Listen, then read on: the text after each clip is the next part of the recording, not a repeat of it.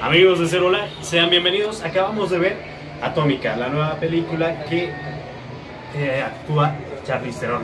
¿Qué les puedo decir?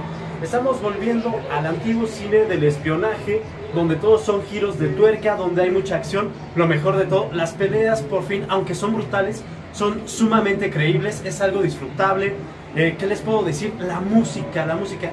La historia se centra con la caída del muro de Berlín. Entonces ya sabemos que en esa época la música estaba en su apogeo y hay por ahí unos contrapuntos con una música calmada y mucha acción. ¿Qué les puedo decir? Hay grandes actuaciones, es sumamente disfrutable y sobre todo hay tributos que son sumamente... ¿cómo?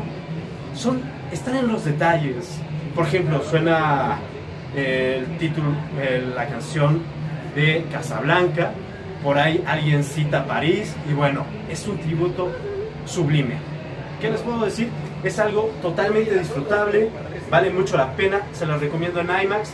Yo creo que en 3D se van a marear porque las peleas son geniales. Entonces, si quieren mucha acción, si quieren saber cómo va a ir la trama, si la quieren adivinar, les recomendamos Atómica. Y bueno, seguimos con Cero Lag.